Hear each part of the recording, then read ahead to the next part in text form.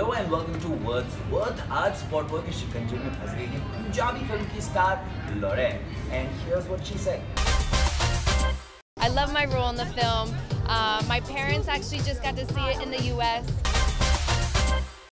And here's what she meant. Oh, I hated being a part of that film. In fact, I wanted to kill myself every day when I was shooting for this film.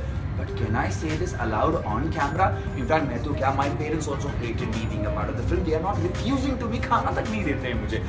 God, I don't know what I was thinking when I signed up for that part.